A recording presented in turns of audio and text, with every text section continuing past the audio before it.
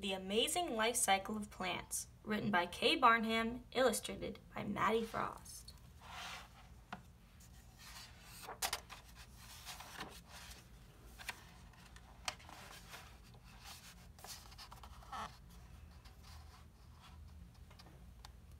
Look around you. How many plants and flowers and trees and grasses can you see? These natural beauties grow over and over again. But how do they do it? Get ready to dig deep and find out more about the amazing life cycle of a plant. A seed is a baby plant. It is wrapped in a shell to keep it safe until it is time to grow. There are lots of different types of seeds. Avocado stones, apple seeds, and acorns are all seeds. For a seed to grow, everything must be just right.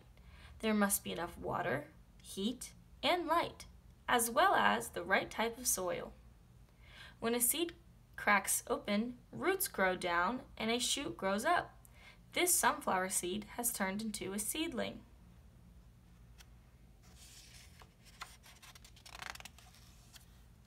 The shoot grows taller and thicker. Soon it becomes a plant stem. The stem is strong enough to support the plant as it grows bigger and more leaves appear. It also carries water and food from the roots. These will help the plant grow.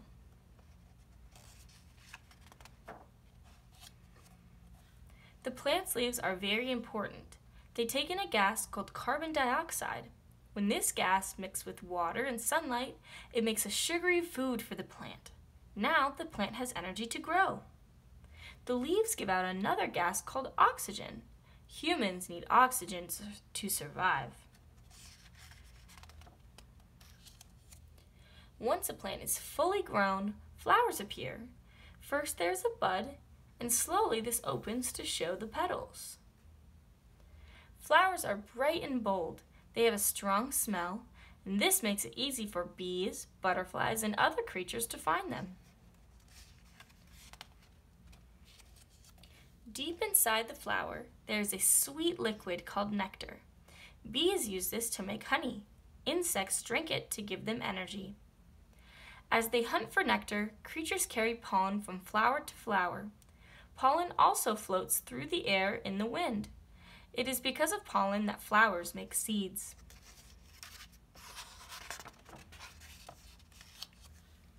It is important that seeds do not fall straight down. If they land in the plant's shade, seeds will not grow. Instead, the plant scatters its seeds far and wide. When seeds travel to many places, more of them might grow into new plants. Seeds scatter in different ways. The wind might blow them away. Seeds might float on the tide. Sometimes seed pods burst and fire their seeds outward. Animals scatter seeds too. When they eat fruit, the seeds hidden inside travel through the animals and out the other end.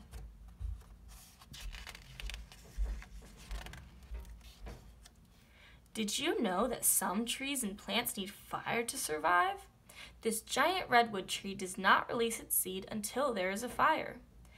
The heat then makes the pine cones open. Ash from the fire makes the soil the perfect place for a new tree to grow. Plants such as ferns, mosses, and algae do not grow seeds.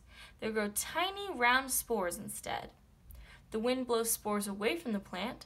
Some land in damp places, and if other spores land nearby, a brand new plant may start to grow.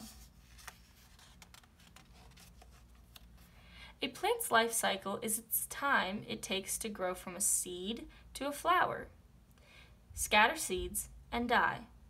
The life cycle of some plants just takes weeks. Others might, take, might live for a year.